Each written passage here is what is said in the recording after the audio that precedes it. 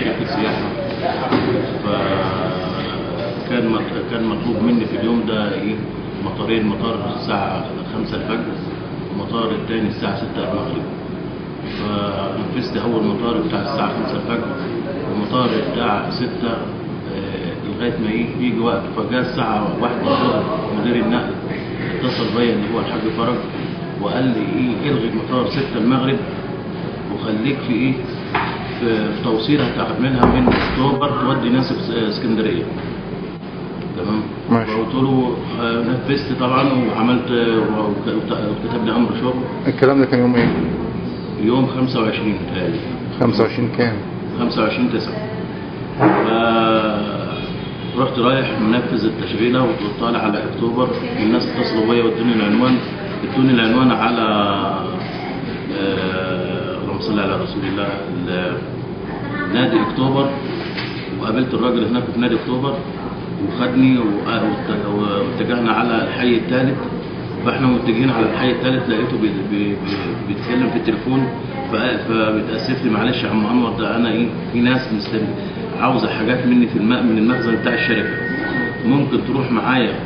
ودي يعني حاجة حاجة أنت اخويه أو حاجة إيه آه يعني منك أنت لينا فأنا ما قلت عادي ما فيش مشكلة إنه إيه بس أهم حاجة ما أخرجش عن نطاق إيه المنطقة بتاعتنا. قال لي لا مش هتبعد عن المنطقة الثالثه فطلعت فخرجت معاه وقابلنا واحد ومشينا. وخدنا الواحد اللي هو كان المفروض يروح معاه على المخزن.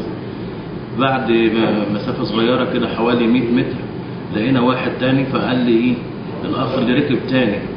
قال معلش ده صاحبي وزميلي أنا على أساس هنجيب الحاجة ونشيلها مع بعضينا ونمشي مع بعض. وهو إيه؟ آه، وأنا وهو هنمشي مع بعضينا وأنتوا اتكلوا على الله بعربيتكم. تمام؟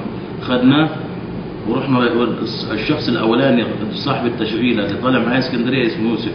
يوسف قعد يتأسف لي معلش يا عم أنور دي وفيها حاجة مشكلة بالنسبة لك ما ناخدهوش.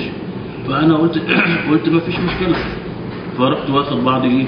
وخدناه بقى هم ثلاثة ثلاث أفراد معايا. وطلعنا تو- توجهنا على الحي الثالث. فجيت لقيت نفسي بدخل إيه في أماكن مقطوعة. فقلت له أنا كده إيه مش قال لي والله ما في حاجة ولا في مشكلة. المهم وقفنا في مكان فيه عماير وفيه سكان وفيه كده. فنزل يوسف ده على أساس إنه هو يجيب حاجات من المخزن وهو غاب حوالي ربع ساعة. ورجع كانوا الاثنين اللي معايا دول واقفين معايا قال لي الحال العربية اتاخدت منك يا ابني إزاي؟ قال لي اتاخدت مني كتفوني وحصل كذا كذا كذا وخدوا العربية. فأنا قمت طالع على اسم شرطة اسم شرطة أكتوبر اول وعملت المحضر هناك. طبعا قعدونا من الساعة مثلا 11 11 ونص لغاية الساعة 5 كنا خارجين من الاسم عمال ما عملنا المحضر. والمحضر ده طبعا إيه قال لي طب هي الحل يا جماعة طب نعمل إيه؟ قال لك هنمشي الاجراءات عادية وبعد كده إيه؟ هنقول إيه اللي قالوا لك تابع.